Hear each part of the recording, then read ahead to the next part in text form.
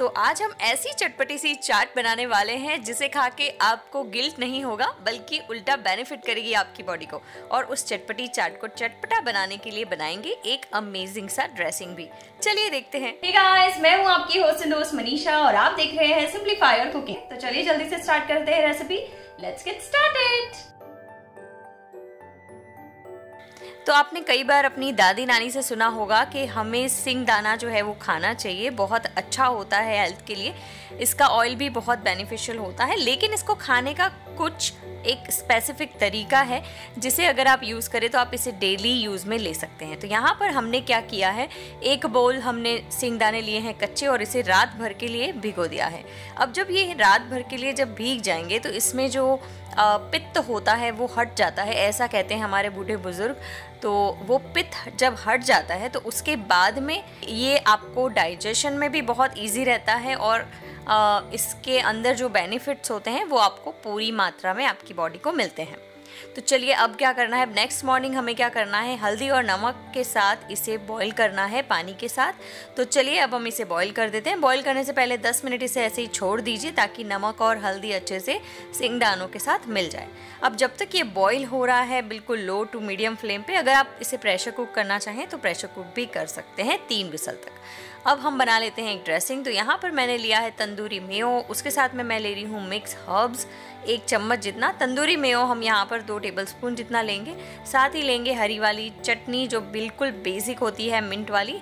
और इन दोनों तीनों चीज़ों को हम बहुत ही अच्छे से मिला लेंगे। तो यहाँ पर हमारा चटपटा सा ड्रेसिंग जो है बन के रेडी हो चुका है। इसके साथ आप और भी जो चीज़ें कुछ ऐड करना चाहें तो कर सकते हैं, जैसे कि नींबू वगैरह। तो वो भी आप इसी स्टेज पे मिला सकते हैं। नहीं तो फिर हम बाद में ऐड करेंगे नींबू।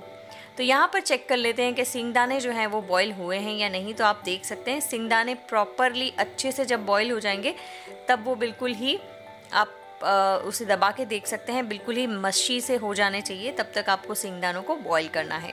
कच्चा रहेगा तो फिर टेस्ट में अच्छा नहीं लगेगा। तो ये देखिए, यहाँ पर ये परफेक्ट बॉईल हो चुके हैं हमारे सिंगदाने। और चलिए एक ले लेते हैं बोल और उस बोल में हम डालेंगे बॉयल पीनट्स और उसके साथ हम कुछ चीज़ें ऐड करेंगे, जैसे कि टमाटर वगैरह।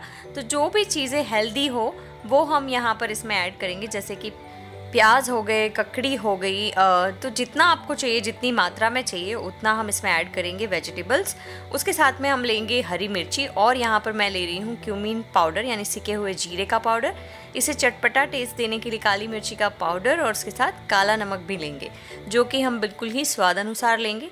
इन सभी चीज़ों को हम पहले ऐसे ही मिक्स करेंगे और उसके बाद में अगर आप इसमें चाहें तो ऑलिव्स भी ऐड कर सकते हैं, बहुत ही अच्छा टेस्ट देता है। अनार के दाने भी ऐड किए जा सकते हैं इसमें। हम यहाँ पर धनिया ऐड करेंगे इसमें और साथ ही हम इसमें इसमें नींबू ऐड करेंगे ताकि इसकी एक फ्रेशनेस जो है वो बरकरार रहे। अब लास्ट में जब हम इसे खाने ही वाले हों, तब हम इसके अंदर ऐड करेंगे दो टेबल स्पून भर के जो ड्रेसिंग हमने बनाया था, वो हेल्दी भी है और अगर आप मेयो नहीं खाना चाहते तो आप हंग कर्ड भी इस्तेमाल कर सकते हैं मेयो की जगह पे। और बन गया हमारा चटपटा सा बहुत ज़्यादा हेल्दी और ये आप रोज़ यानी कि रोज़ सुबह ब्रेकफास्ट में खा सकते हैं। आपकी हेल्थ जो है वो अनदर लेवल हो जाएगी। यानी कि बहुत ज़्यादा इंप्रूवमेंट आपको खुद ही को देखने को मिलेगा। तो एक बार ज़रूर से ट्राई कीजिएगा। ये चटपटी सी चाट जो हेल्दी वे में भी खाई जा सकती है। इन्ग्रीडियंट्स चेक कर लीजिए। मैं जल्दी मिलती हूँ। तब तक के लिए अपना बहुत ख्याल रखें। बाय